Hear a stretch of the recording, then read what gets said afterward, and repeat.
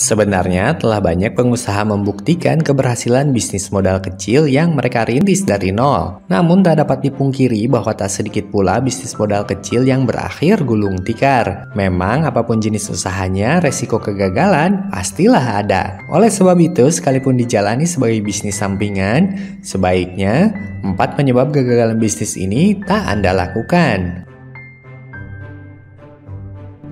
Yang pertama, tak ada rencana bisnis yang matang. Meskipun bisnis kecil-kecilan, wajib hukumnya punya rencana tujuan jangka pendek dan jangka panjang, serta strategi yang perlu dilakukan. Perencanaan yang baik akan memudahkan Anda dalam mengembangkan bisnis. Bayangkan apa yang ingin Anda capai untuk bisnis Anda dalam beberapa tahun ke depan dan siapkan strateginya. Misalnya, jika Anda ingin usaha Anda berkembang sebagai bisnis waralaba, tak ada salahnya membuat proposal kemitraan dari sekarang. Dengan begitu, jika sewaktu-waktu ada pihak lain yang tertarik, Anda sudah punya rancangan yang menjanjikan.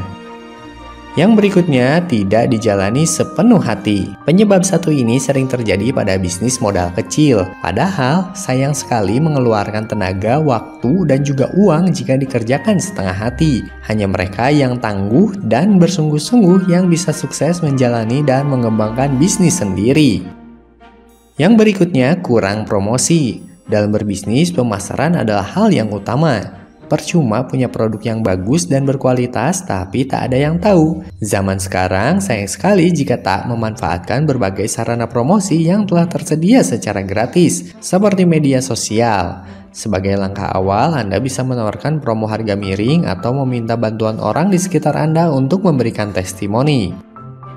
Dan yang terakhir, bersikap pasif. Pengusaha tak bisa menunggu pelanggan datang begitu saja. Untuk membuat usahanya berhasil, mau tak mau seorang pengusaha harus selalu berinteraksi dengan berbagai pihak, mulai dari calon pelanggan, calon rekan kerja, hingga sesama pengusaha lain. Kemampuan membangun jaringan amat penting untuk kemajuan bisnis. Selain itu, dengan berinteraksi dengan banyak orang, terutama sesama pengusaha, ilmu yang didapatkan pun jadi lebih banyak. Jadi, sudah siap menjalani bisnis Anda sendiri?